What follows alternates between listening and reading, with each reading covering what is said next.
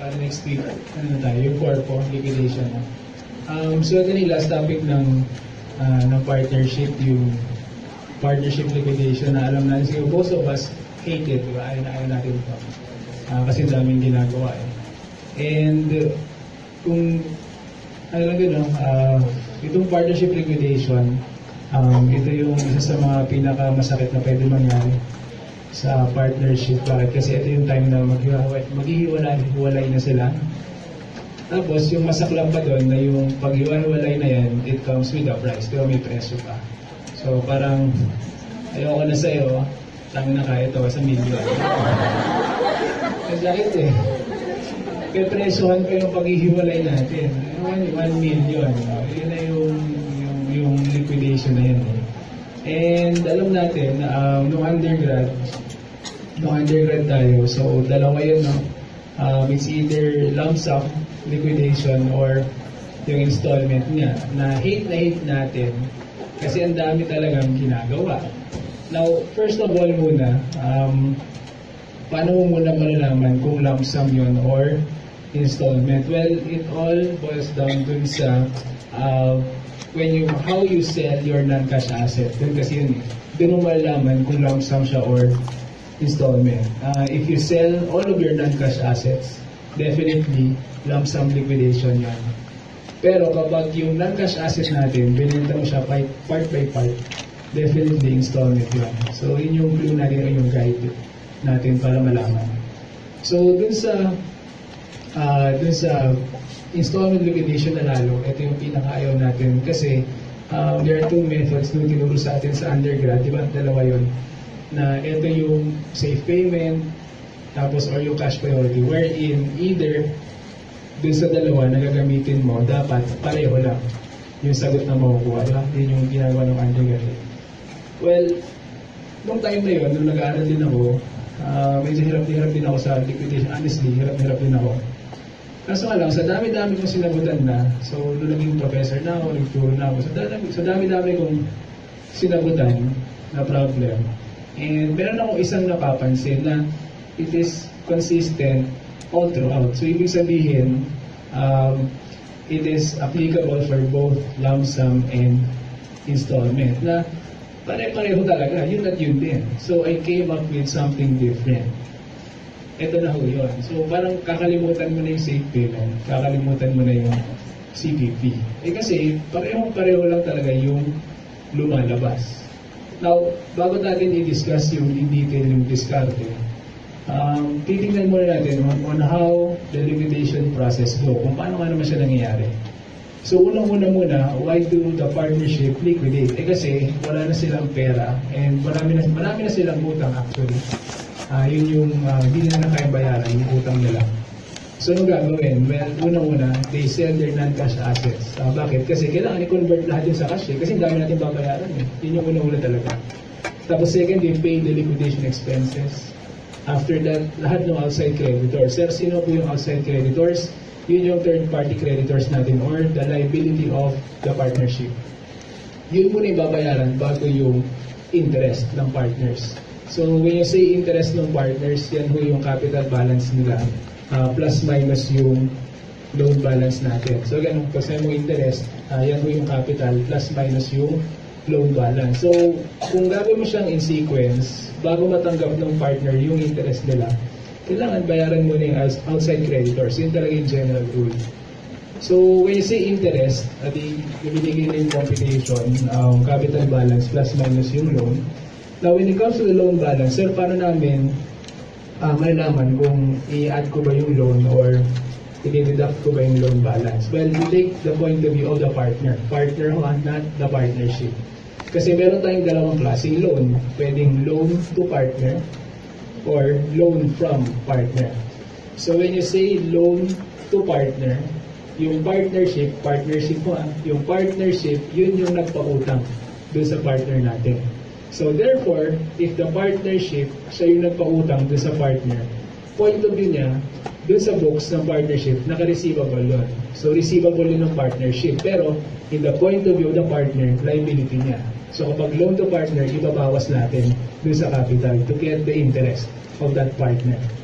When you say loan from partner, the partnership, siya ho yung umutang dun sa partner natin. So therefore, the loan from partner presented in the partnership books, it is a liability of the partnership. Point of view ni partner, receivable niya. So idadagdag natin dun sa capital niya. So therefore, para ma-finalize lang yun, so loan to, titignan mo kung saan naka-present yung loan. Pag naka-asset yun in the partnership books, ibabawas natin dun sa capital balance. Pero kapag yung loan naging liability dun sa partnership books, i-add natin dun sa capital para makuha natin yung tamang interest ng partners. So you always start at the interest of those partners. So dapat sa simula pa lang, tama na yung makukompute natin. Now, ah, ano ho yung diskarte ng naisip ko? Um, eto yun. Ah, parang kalimutan mo na yung safe payment, kalimutan mo na yung CGB, eto na lang. Kasi ito yung madaling tandaan eh. Kasi ito yung napapansin ko palagi. Palagi yan kapag resolve ako ng isang partnership, eto at eto yung nangyayari. So ano yun? The, before a partner receives his share nito sa payment, ano yun? Yung pera na matatanggap niya. Bago siya matanggap yung pera niya, kailangan i-absorb yung tinatawag na total loss, total gain. Na anong laman nun? Nandun yung gain or loss on realization, nandun ho yung liquidation expenses, nandun yung maximum possible loss. So when you say maximum possible loss, that's the book value your unrealized non-cash asset. So when you say unrealized non-cash asset, yun yung non-cash asset mo na hindi mo pa binibenta or not sold. Tapos isasama mo rin dun yung cash withheld. Kaso nga lang, when you say cash withheld, it should be specific. Dapat cash withheld for future liquidation expenses. Yan ho yung sumasama dun sa maximum possible loss natin. And syempre, pwede rin niya ma-absorb yung tinatawag ng deficiency or yung negative balance ng partner. So once ma-absorb niya lahat yan, makukuha niya na yung gusto niya, yung payment niya. Ito, it is always true. Ito na lang tatandaan mo. So again, ah, bago matanggap ng partner yung pera na gusto niya, you must absorb yung tinatawag na total loss, total gain, gain or loss on realization, liquidation expenses, maximum possible loss, tsaka yung deficiency or yung negative balance. Now, to compute, uh, ng mabilis, yung total cash paid to partners, uh, ito rin, ah, naisip ko rin to. So you start with the total interest of the partners. So ito yun, yung interest na lang doon. So pagsasama-sama mo lang. Tapos plus minus ah, yung gain or on gain or loss doon realization natin. Minus liquidation expenses, ah, minus yung maximum possible loss, and plus yung condoned liability. Sir, ah, ano ho itong example ng condoned liability? Well, ibig sabihin ng condoned liability, kasi di ba ang, ang concept there is before the partner receives his money, all of the creditors, it must be paid. Babayaran mo dapat. So, kunwari, uh, meron kang creditors na 500,000 yung, yung amount. And on the final, final, uh, final installment, kunwari, sa huling-huli, um, nagbanggit doon na yung 100,000 dun sa creditors niyan, it was waived. Waived po ah. So, ibig sabihin, hindi na siya babayaran. So, yun po yung na-condone na liability. Or, sasabihin doon, imbis na 500,000, there is a compromised payment. Yun yung mga terms eh, para malaman mo kung condone. Compromise, waive payment, ayan. So, kapag may waive or compromised payment, yung difference doon, yun yung kadagdagan na lang. It will be a gain dun sa partner. So, matatanggap nila yun, kadagdagan sa payment nila. So, yun yung malalaman natin kapag condone. So, yan din yung total cash paid to partners, lahat-lahat. Now, sir, saan mo ito nakuha? Inimbento mo? Hindi. Nakuha ko rin sa safe payment na pinagsama-sama ko lang lahat. Ito rin yun, sa safe payment. Now, ito, very important. Bakit? This is very helpful kapag on installment. Kasi syempre, iba yung interest ng partner sa simula first installment, iba rin yung interest niya sa second installment. So to compute the second installment, ito yung partner's interest prior sa so, first installment, uh, plus, plus minus gain or loss ulit, minus liquidation expenses, minus yung binayad sa kanya during that first installment. So yung makukompute sa baba, ito na yung interest niya through the next installment. And dun sa next installment na yan, gagawin mo na naman ito para makompute mo kung magkano yung mababayad sa kanya dun sa second. So i-absorb mo na naman yung tinatawag na total gain, total loss, or total gain. So again, uh, before the partner receives his share, there's a liquidation, ito yung kailangan niyang i-absorb, yung tinatawag na total loss or total gain. Ito na lang, no by heart. Ito na lang talaga yun. Promise. Ito na yun. Uh, gain or loss or realization, absorb niya yan. Liquidation expenses, maximum possible loss, deficiency, or yung negative balance natin. Sige, uh, try natin no, dun sa first problem.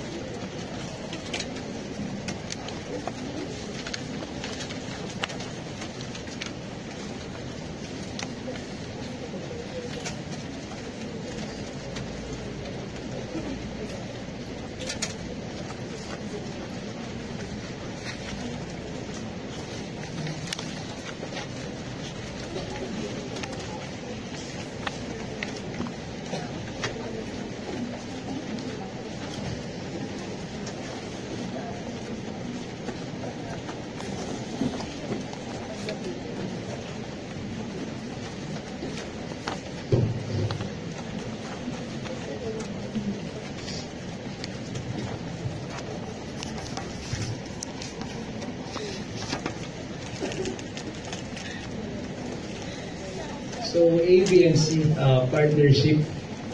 Ah, tapos meron silang profit or loss agreement ng 60, 10, tsaka 30. So, unang unang gagawin natin, i-compute muna natin yung interest mismo nila ah, before yung start ng liquidation. So, alam natin, this is the capital balance plus minus yung loan balances nila. So, therefore, dun sa first problem natin, si A has a capital balance of 700,000. Ah, may loan balance ba siya? Yes, meron siya loan balance na presented in the partnership books as an asset or receivable. So therefore, point of view niya, liability niya. So ibabawas natin para makompute natin yung kanyang tamang interest. So calculate tayo, 700,000 minus yung 500,000 na loan niya. So therefore, total interest of A, 200,000 at the start of liquidation.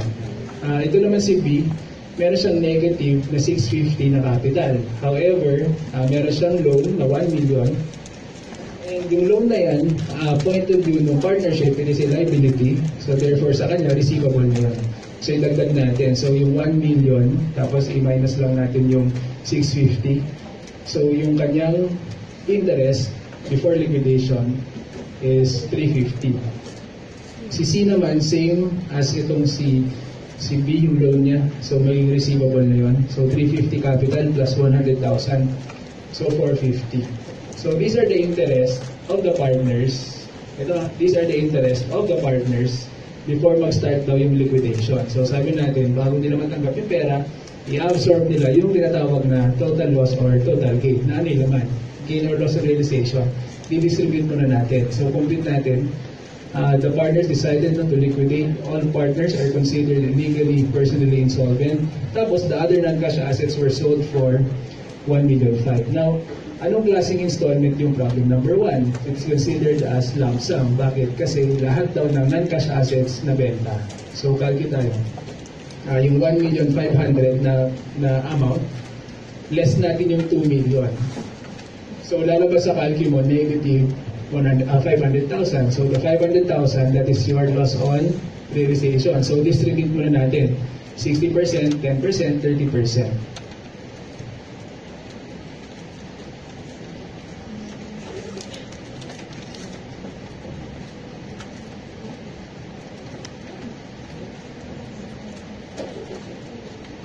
Now, after distributing yung loss, uh, check natin na there's liquidation expenses na 100,000. So, pa-absorb ulit natin, distribute ulit, times 60%, 10%, 30%.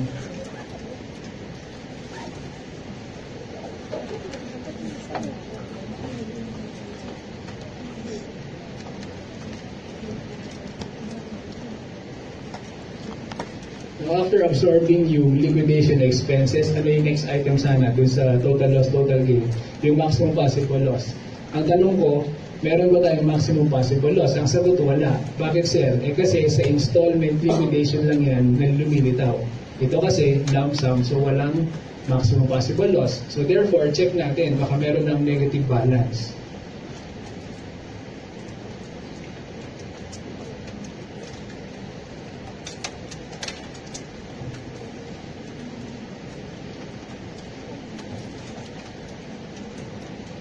So, after checking, ah, nagkaroon ng negative balance itong si A na 160. Tapos si B at si C parehong positive na 290 tsaka 270. Now, pag nagkaroon ng deficiency ang isang partner, it is very important na malaman mo kung solvent ba siya or insolvent. Ibig sabihin ng solvent, he has still personal assets or net assets na pwedeng bayaran yung kanyang deficiency. Pero since all of those partners are legally declared insolvent, ibig sabihin wala na silang personal net asset, So, anong gagawin ngayon? Di ba, ano ulit ang core ng partnership? Ang core ng partnership is trust and confidence, agreement, sa hirap sa ginhawa, di ba? Sa hirap sa ginhawa, magsasama tayo. Yung kasalanan ko, kasalanan niya rin. Yung, yung deficiency ko, deficiency niya rin. Yung shit ko, shit ko rin. Shit mo rin. Di ba? Parang, parang ganun siya eh. So, yung 160,000 na to, paghahatian na lang yan ng nilang dalawa, ni B and C. Ang ratio dapat, of course, yung 1 is to 3. So times 1 over 4, 3 over 4.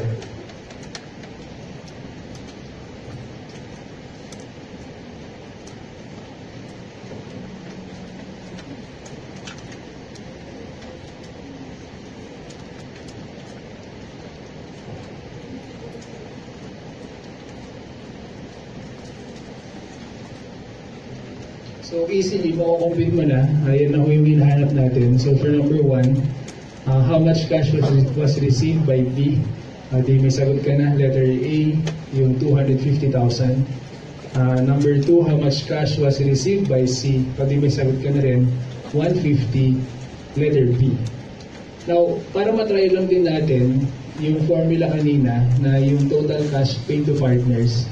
So, paano daw ulit yun? Yun daw yung interest ng partners plus minus yung gain or loss on realization minus liquidation expenses minus maximum possible loss tsaka plus yung condone liability sana if ever. So, para try natin, no? so paki-add ho lahat ng ito. Uh, 200,000 plus 350 plus 450. So, yan yung total interest ng partners, parang 1 million nata, di ba? Ang 1 million lahat-lahat. So, minus natin yung loss on realization na 500,000. Then, minus yung liquidation expenses na 100,000. And wala naman tayong maximum possible loss, di ba? Walang maximum possible loss. Wala rin naman na condone na liability. So, magkano ang lobas sa calcio? Ang lobas sa calcio ay 400,000, which is, oo nga, no? 250 plus 150, yan po yung total cash paid to partners na 400,000. So, gumagana siya. Okay. Next. Uh, DEF partners.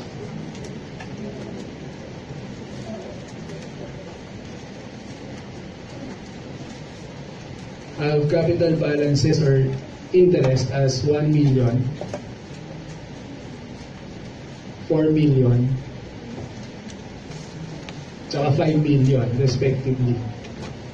So before liquidation yan. Now since wala namang loan balances na binigay, so these are the interest now of those partners before the start ng liquidation. Uh, malinaw naman na sinabi dyan, um, all of them are legally insolvent. Tapos all again of the non-cash assets were sold. Kindly underline na lang yun, yung all of the non-cash assets were sold. Second bullet. So therefore, this is another lump sum liquidation tayo. Uh, binigyan ka ng liquidation expenses ng 2 million. Tapos last bullet, very important, binigay na kung magkano yung tinanggap ni, no, ni E. So ito yung problem na hit na hit mo kasi ito yung workback mo na naman. Di ba? Ito yung pinakaayaw mo talaga sa lahat sa liquidation. Pero fear not kasi nga yung diskarte always true. So tingnan nyo. Uh, sabi daw dyan, uh, itong CE, nakatanggap daw siya ng magkano? 2 million 5. Okay. So between his interest and the amount paid to him, uh, meron siyang difference na 1 million 500. Now, profit or loss ratio nila uh, is 60, 10, and 30. Now, babalikan mo na naman yung konsepto natin. Ano yun? Before the partner receives yung 2.5 billion niya, inabsorb niya yung tinatawag na share niya saan? Doon sa total loss. So total loss, ito ha, share niya. Gross up natin. 1 million 5 divided by 10%, total loss mo, 15 million. So yung 15 million, distribute mo ulit times 60% times 30%.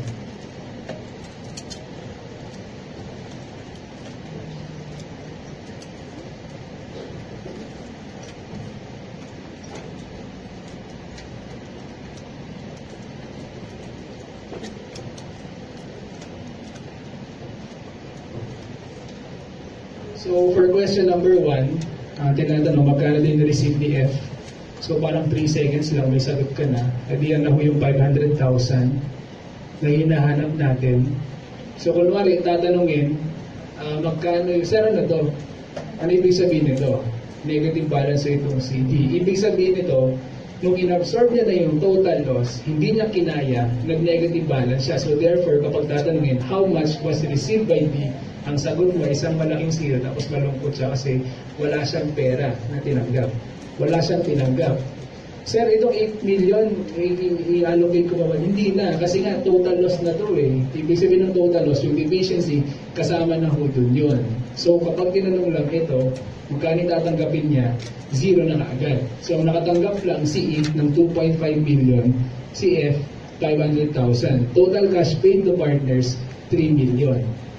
Now, second question, ang uh, tinatanong, magkano daw yung sale or yung net proceeds from the sale of the non-cash asset? So, since lahat ng uh, non-cash asset na benta, meron ka ng book value, para ma-compute mo yung cash na tinanggap mo, anong kailangan? Kailangan ko yung gain or loss on realization. So, saan mo siya pupulutin? O, di dito, ano to? Ito yung magic natin eh. Ano to? Total loss to eh. Anong laman niya? Ito yung gain or loss. Ito yung liquidation expenses. Ito yung maximum possible loss. Ito yung negative o yung deficiency. So, yung negative, nandun na yun eh. Ito po yung 8 million. Next question. Maximum possible loss, meron ba? Wala eh. Kasi ito ay isang lump sum liquidation. Liquidation expenses given? Yes, meron. 2 million. O with all smiles, calculator ka na lang. 15 million minus 8 minus 2. Lalabas, negative. 5 million. Na ito yung loss on realization natin. So, total book value ng non-cash asset mo, which is 17 million, pag minus mo lang yung loss on realization na 5 million, official answer is letter C, 12 million proceeds doon sa non-cash asset.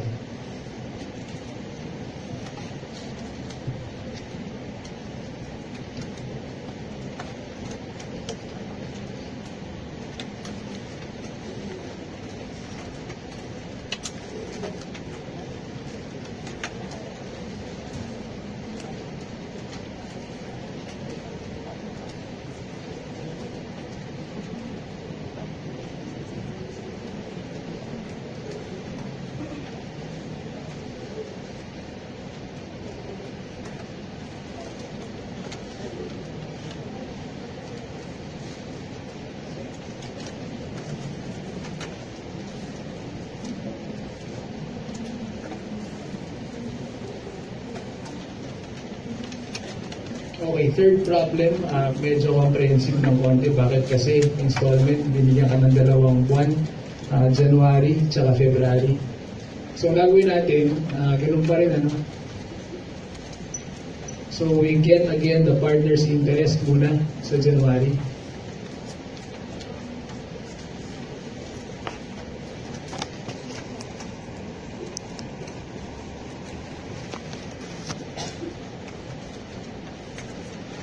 So wala naman loan balances yung partners natin.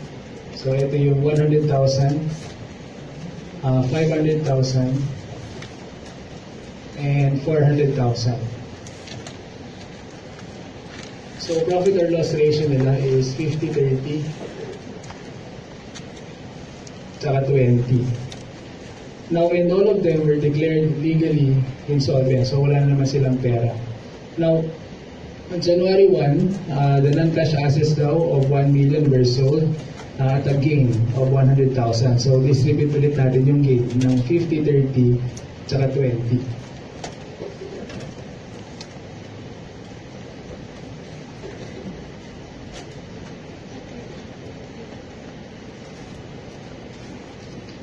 Um, next, liquidation expenses of 50,000. So, distribute ulit ng 50, 30, and 20.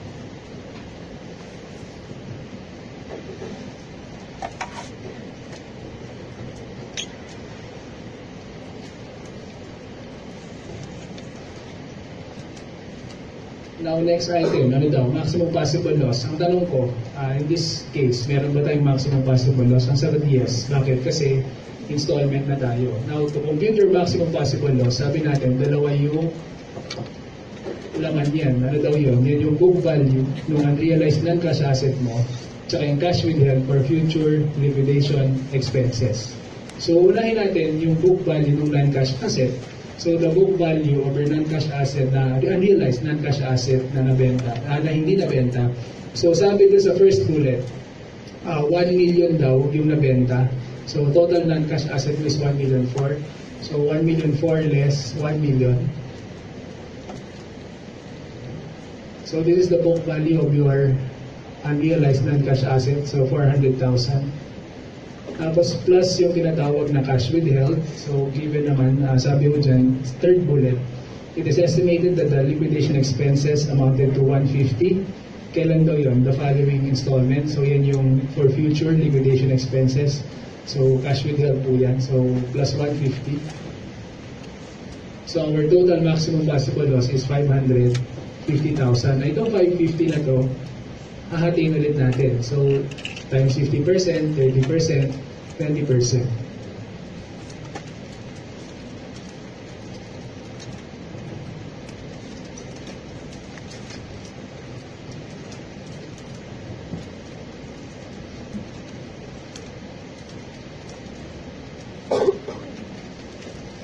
So, check ulit natin kung may negative balance tayo.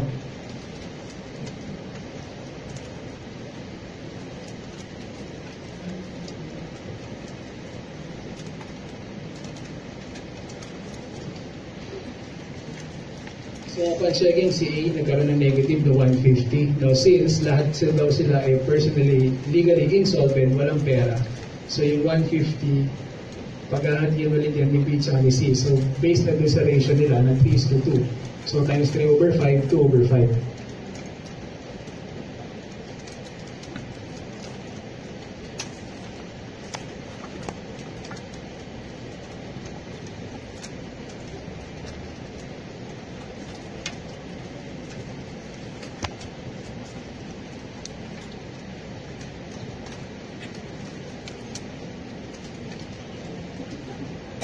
So, ang matatanggap no, ni B ay 260, ah, si C naman 240,000. So, for number one question, um, what amount of cash received by partner C? So, official answer is letter C, ah, 240,000. Number two, what is the share of B in the maximum possible loss? So, yung total natin is 550. So, ang share niya, ito yung nasa gitna. So, ang share ni B official answer is letter D, 165,000. And for number 3, ito, um, magtanong no, what is the amount of total cash withheld? So kindly underline yung word na total. Ah, sir, bakit? Kasi when you say total, cash withheld, when you say total cash withheld, dalawa kasi ang laman yan. Unang-una, nandyan yung for future liquidation expenses, And nandito rin yung unpaid balance doon sa creditors natin. Yung unpaid doon sa layap. So, para makuha natin tama, uh, doon sa total cash withheld, the part na dyan yung 150,000. Ito yung for future liquidation expenses. And for the liability, uh, based sa number 4 na bullet ng January, uh, only 20% of the liabilities to third persons were settled, sabi. Uh, so, ibig sabihin, yung 80% hindi pa nababayaran. So, kalki tayo, 2 million total liabilities times 80%. So, unpaid natin is 1,600,000. So, ang total natin, official answer is letter C, uh, 1,750,000. So, baka lang mag- mag-raise ng question, Sir, yung 80% pa nito, since hindi ko binayaran, can I consider it as condoned or waived na payment? Ang sagot, hindi. Bakit? Eh kasi meron pa namang next installment eh. And isa pa, hindi naman explicit na sinabi na na-condone yan or na-waive. So, wag mong i-assume na kunwari 30% na binayaran, yung 70% i-waive na. Hindi yung pwedeng ganun. I-assume natin lagi na dap- dapat the following installment, mababayaran lahat yun. Unless, yun nga, may stipulation or may sasabihin na it was compromised or na-waive siya. So again, ah, yung waive payment na yan, sa liability, sa yung compromise, kailangan sabihin. Huwag natin yun i-assume. So, regarding ulit, um, cash withheld. Eh sir, what if silent po yung yung cash withheld? Kunwari, sinabi lang, cash withheld, 100,000. Yun lang ha, walang word na total. Kasi pag may total, alam natin, dalawa yung laman. Now, kapag cash withheld lang, cash withheld lang sinabi, i-assume natin o i-consider natin siya as yun lang yung for li- uh, future liquidation expenses. So no, kapag cash withheld lang ang nakalagay, walang word na total, i-assume natin yun, i-consider natin siya as yun yung for future liquidation expenses. Now, para dun sa number 4 na, na question, edi ito na yung sa second installment natin.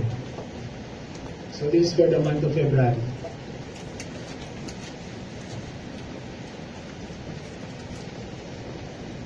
Now, ito na yung sinasabi ko kanina, ah, yung nilagay ko dito computation na dapat makompute ko yung interest nila dun sa second installment or dun sa next installment natin. So, binigay ko na yung, yung formula yun. So, practicein na lang natin. So, same profit or loss ratio, yung 50-30, tsaka 20. So, compute natin kung magkano na magiging interest nitong ni A sa second installment. So, based dun sa loans natin, paano daw yun? So, dito natin, ito yung guide natin. So, ito yung interest niya, prior installment. Uh, may a plus gain, tayo, uh, 100,000 plus ho yung 50 na share din dun sa gain. Uh, minus yung liquidation expenses na 25,000 and minus yung binayaran sa kanya. Now, since walang binayaran sa kanya, so therefore, yung kanyang interest is only 125,000 on the second installment. Si B naman, uh, interest prior 500,000 plus yung 30 nag-share niya dun sa gain minus liquidation expenses na 15,000 and minus yung binayaran natin sa kanya na 260,000. So therefore, yung interest niya, second installment, 225.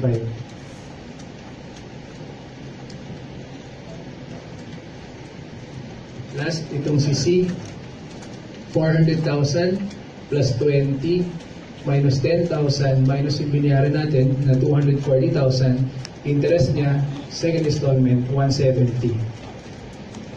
So once makompute mo lang tama, itong mga interest nila, din sa next installment, same concept na naman, ipapa-absorb ko ulit yung tinatawag na total loss or total gain na nakapaste natin sa information din sa February.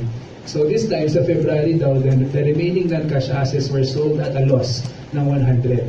So distribute ulit 50%, 30%, 20%.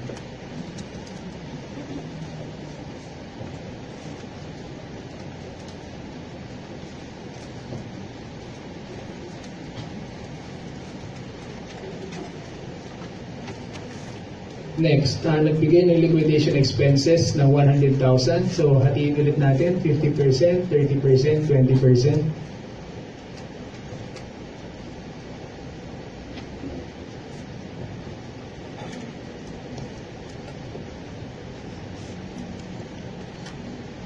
Next item, ano sana? MPL or maximum possible loss. Ang tanong ko, may MPL pa ba sa February? Sagot wala na. Sir, bakit po? Eh kasi last installment na to eh.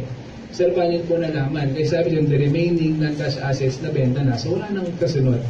So check na lang natin.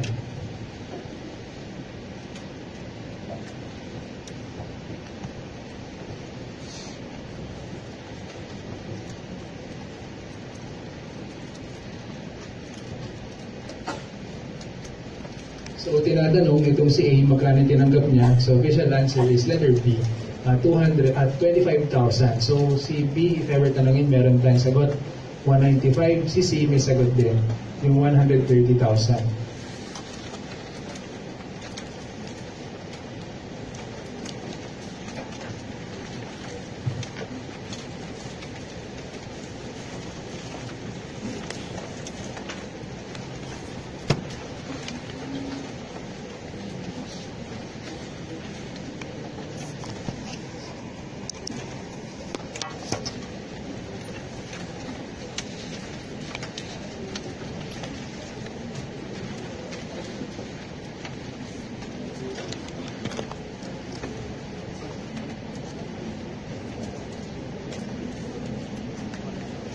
Number four.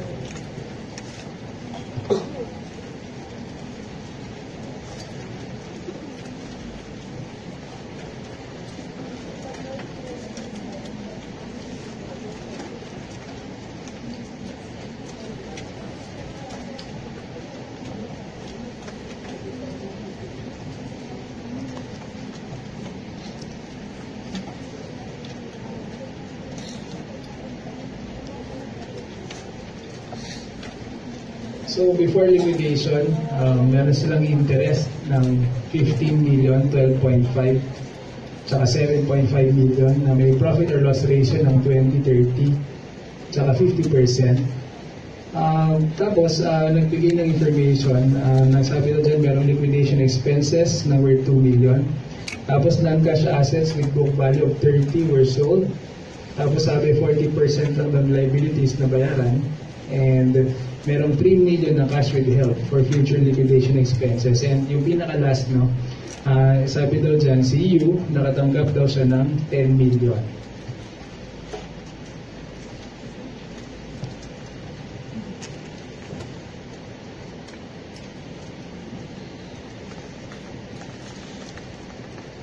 So against do sa kanyang interest, ah, meron na naman siyang inabsorb ng share niya sa total loss ng 5 million. So yung 5 million na yan, ah, pwede natin i-gross up para makuha natin yung total loss. So divided by yung 20%, so total loss natin ay 25. Tapos distribute ulit natin times 30% times 50%.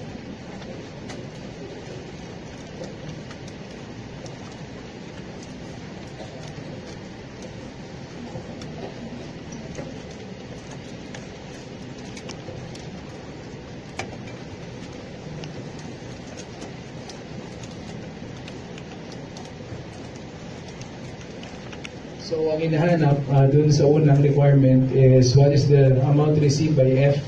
So may sagot ka na kagad. Ito na yung letter C, 5 million. And uh, for number 2, uh, magkano ulit yung net proceeds natin dun sa share ng non-cash asset. So hahatiin ulit natin. Alam na natin to, gain or loss, liquidation expenses, maximum possible loss, yung negative balance. So ito na po yung negative balance. So minus 5,000, na- ah, 5 million. Uh, next, liquidation expenses given, which is 2 million. Now, as for your maximum possible loss, meron kaya to? Ang sagot, yes, meron. Ah, bakit? Kasi hindi naman daw lahat ng non-cash asset na benta, only 30 million was sold.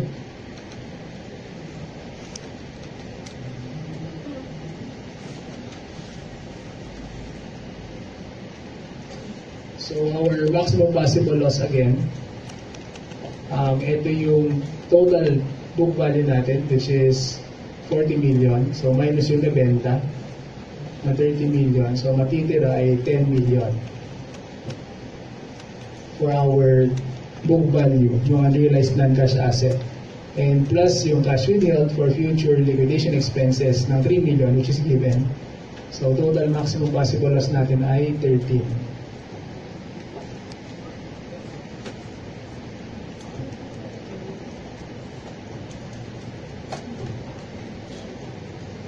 So, calculate na lang, ah, 25 million less 5 less 13 less 2 million. So, meron kang loss on realization again of 5 million. So, the net proceeds natin, so 30 million yung nabenta na book value. So, minus na lang yung loss na 5 million. So, official answer natin is letter A. 25 million net proceeds dun sa sale ng non-cash asset.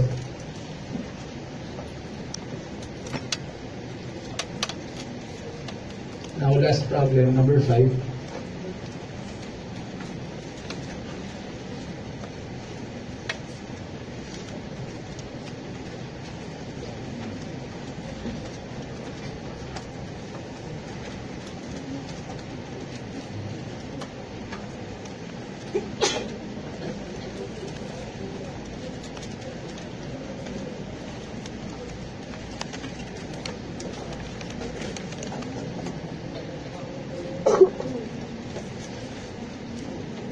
So, binigyan ka ng capital balances ni AC tsaka ni J ng 2.5 million, 5 million 4, tsaka yung 3 million 700. Tapos binigyan ka ng total liabilities. Kaso nga lang, yung laman ng total liabilities, merong loan balance na kasama. So, calculate ka, uh, uh, 4 million 400 less mo yung 600,000 na loan. Ah, yung lalabas sa calculate mo, yung 3.8 million. Yan lang yung liabilities natin sa outside creditors. Tapos, binigyan ka ng cash balance na 800,000. Now, ano ang challenge mo or, or ano yung kailangan mo makompute? Kailangan mo muna makompute lahat-lahat ng book value ng non-cash asset natin. So, calculate tayo. ah, 2 million 5 plus yung 5 million 4 plus yung 3 million 7. So, total na capital lahat yun. Ah, plus yung total liabilities natin na 4 million 400. So yun ako yung total asset natin, uh, less yung 800,000 na cash. Your non-cash asset at book value is 15 million 200. Okay, so pakilagay dyan na non-cash asset is 15 million 200. Now for number one, ang tinatanong kasi, what if daw ah, yung say yung unang non-cash asset natin na 7.4 million ay binenta mo siya at book value. So kindly underline po yun, yung sold at book value. Tapos yung the rest of the non-cash asset were sold at a loss of, of, of 4.2 million. Now, ah, para ma-compute natin kung magkano lahat-lahat ng cash at para makita nyo kung saan nang galing yung cash na yan. Well, ito po yung formula natin na to get the cash paid to partners. Since dalawang benta ng ating non-cash asset, ibig sabihin, it is one installment. So, gagawin natin, i-compute muna natin yung total cash na binayaran dun sa first installment, tsaka natin i-add dun sa second installment natin. So, dun sa una, so ilatag lang muna natin no, yung formula natin.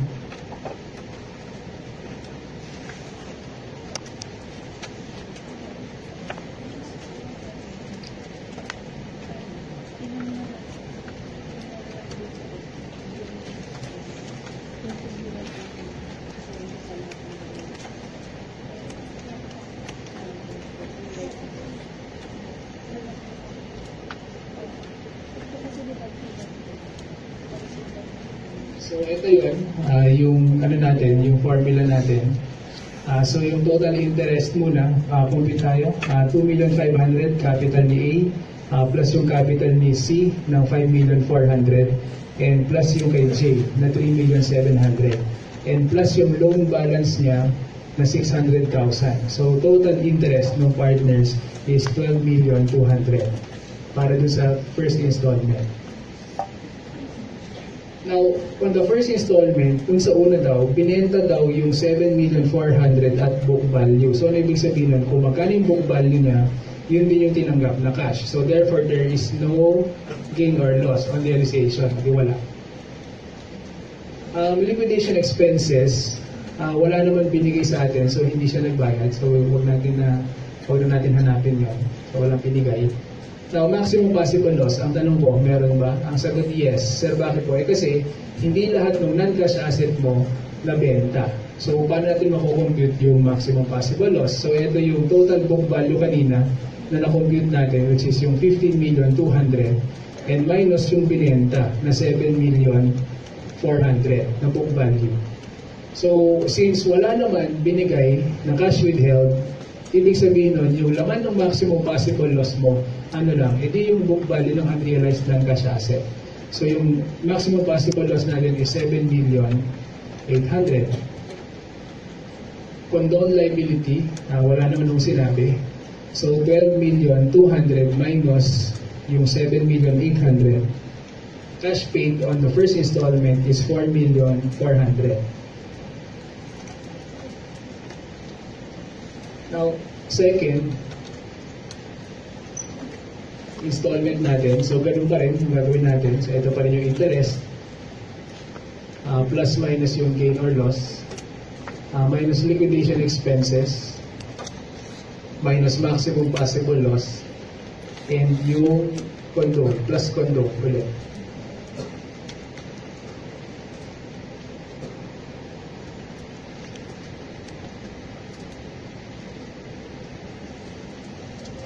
Now, ito lang muna yung challenge mo. Ah, paano daw i-compute yung interest ng partner. So, based nga doon sa formula ulit natin. So, calculate tayo, no? Interest, total interest prior installment, 12 million 200. Ah, wala naman siyang gain or loss. Wala rin tayong liquidation expenses. Minus na lang yung binayaran natin na 4 million 400. So, the interest on the second installment, total is 7 million 800. Now, next installment, second installment, ah, sabi ho dyan na binabenta daw yung natitira at a loss. So, lahat ng 4 million 200 considered as loss of realization, so minus 4 million 2 tayo. Um, wala namang binigay na liquidation expenses. Wala ka ng maximum possible loss, eh kasi nga, natitira, nabenta na. So, therefore, wala ka ng ah, isa pang installment. And wala rin condo na liability. So, total cash na binayaran sa second installment is 3 million 600. So, kapag inad natin yan, 3 million 6 plus 4 million 4. So, lalabas din sa official answer, letter A. Total na binayaran mo is 8 million.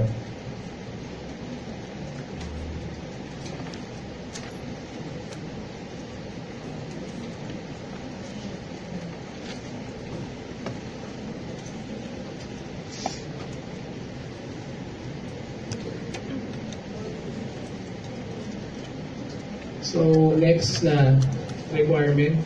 Um, after exhausting the non-cash assets of the partnership, um, assuming all partners has personal assets more than their personal liabilities. So, kindly underline ko yun, na has personal assets more than its personal liabilities. Kapag ganyan, ang personal assets are greater than the personal liabilities, it means that all of those partners are considered solvent. May pera ho sila. So, gano'n, lahat ng partners daw are solvent. Now, uh, ganun ulit ang gawin natin. Uh, kunin muna yung interest nila at the start ng liquidation. So, si si A, yung capital balance lang niya na 2 million 5. Tapos si C naman, ang total interest niya, since may loan siya, which is a liability of the partnership, receivable niya yon so plus do sa capital niya. So yun yung 5 million 400 plus 600,000 or 6 million. And si J naman, yung kanyang interest ay yung capital lang which is yung 3 million 700. Now, ito yung pinaka uh, import, isa, isa, isa sa mga pinaka-importante na statement dyan, no? Sir, ano ibig sabihin ng exhausting the non-cash asset or after exhausting the non-cash asset? Ano ibig sabihin nun? Ang ibig sabihin nun, kung magkano yung book value ng non-cash asset mo, all of those book value, you considered it as loss already. Loss na lahat yun. So, wala kang tinanggap na pera. So no, ibig sabihin ng after exhausting the non-cash assets, it means all of the book value o yung 15 million 200, all of those were considered as loss. So yung 15 million 200, distribute ulit natin sa kanila ng 25%, 35%, tsaka 40%.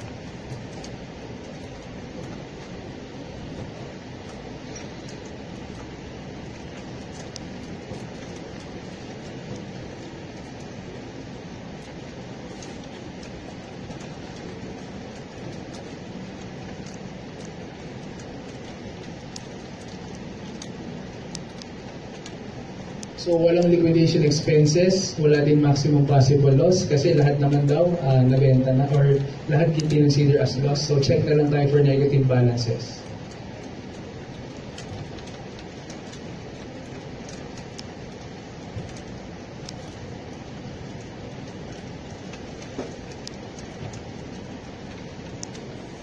Now, after uh, absorbing lahat ng loss na yan, or yung laman na is yung loss on realization. So mapapansin mo, ang negative nitong si A, tsaka itong si C. Kaso nga lang, since they are considered as what? Solvent eh. So ibig sabihin, may pera sila to cover up their deficiency. Now, the question there is, sir, uh, yung solvent ba, kahit ano, ang pwede niyang ibigay? I mean, kahit anong amount, ang pwede niyang ibigay din sa partnership. Ang sagot lang dyan, only the, uh, the solvent partners, so kunwari ito, si A, tsaka si J, they can only contribute additional cash up only up to their deficiency lang. So si A, ang kaya lang niya idagdag, dapat yung 1 million 3 lang. And itong si J naman, ang kaya lang idagdag ay dapat hanggang 2 million 380,000 lang. So ang question kasi, uh, magkano daw yung cash na kailangan i-invest ng partners para masatisfy daw yung claims, edi ito na yung kadagdagan. So, add mo lang 1 million 3 plus yung 2 million 380. So, official answer natin is uh, letter A. 3 million 680.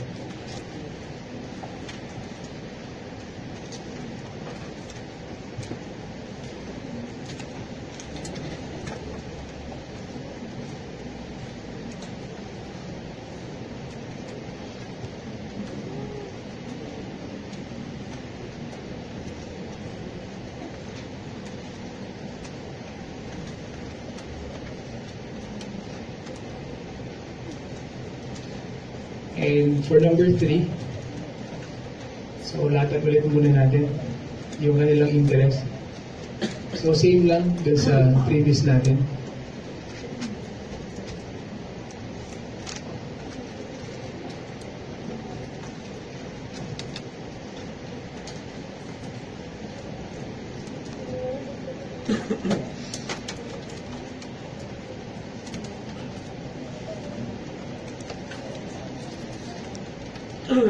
Now, if C receives daw 2 million, 255.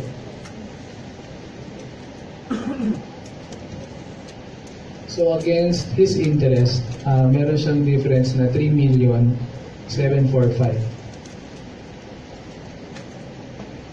So yan ulit yung share niya dun sa total loss. So i-gross up ulit natin divided by 35%. So total loss of 10 million 700. So distribute muna natin ulit uh, times 25 times 40%. So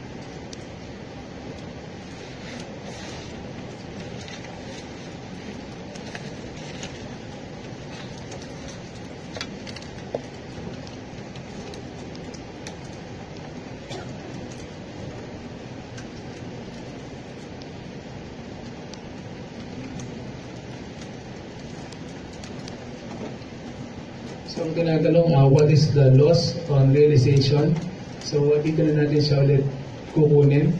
So ito na ulit yung gain or loss, liquidation expenses, maximum possible loss, yung negative balance. So as for the negative balance, pakiat na lang ang dalawang to. Uh, 175,000 plus yung 580. So a total of 755,000. Uh, next, may maximum possible loss ba? So wala naman sinabi. So wala na yan. Liquidation expenses, wala din. So calculate ka na lang na 10,700,000 minus yung 755. So official answer is letter D. Uh, meron kang loss on realization na 9 million for 9,945.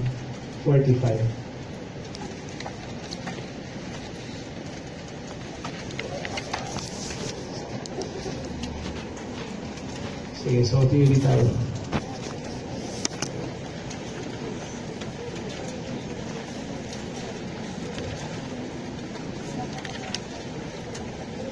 Uh, number one, um, definition of term. It refers to the process of converting the non-cash assets of the partnership and distributing the total cash to the creditors and the remainder to partners natin. So that is a definition of letter C, um, liquidation. So it is converting your non-cash to cash. Tapos babayaran natin yung creditors and yung partners natin. So in number two, in liquidation of a general partnership, which of the following credits shall be paid first? So sino-sino ho yung unang-unang binabayaran? So based nga sa process or sa sequence, no, ang kailangan mong bayaran talaga muna is yung outside creditors bago yung partners natin. So official answer is letter A. Those owing to third person muna o sila yung outside creditors natin. Um, number three, in a in the liquidation of a limited partnership, which of the following credits shall be paid last. So whether general or limited, ang huling-huling binabayaran natin is yung capital balances ng partners natin. So official answer is letter D. Those owing to partners for their capital contribution. Uh, number four, ito yung katulad dun sa theory, dun sa formation natin, which is yung burden ng partnership natin. So kapag general partners tayo, our liability, hanggang saan tayo hab kayang habulin? Up to our separate assets. So official answer is letter B. They are liable pro rata up to the extent of their separate assets. And for number five naman, what if limited partner ka lang? Hanggang saan ka kayang habulin? So kapag limited partner, the difference between general and limited is kapag limited, kaya lang siyang habulin up to their capital contribution only. So official answer is letter C. So hanggang doon lang sa extent ng capital contribution. Yeah. So next week tayo corporate liquidation.